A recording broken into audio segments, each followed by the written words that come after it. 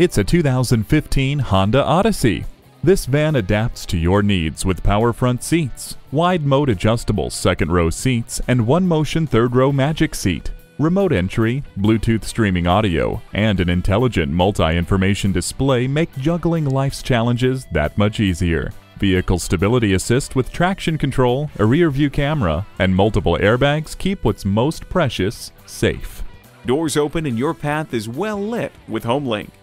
Avoid scraping snow and ice with heated mirrors. Wrap yourself in the comfort of heated seats.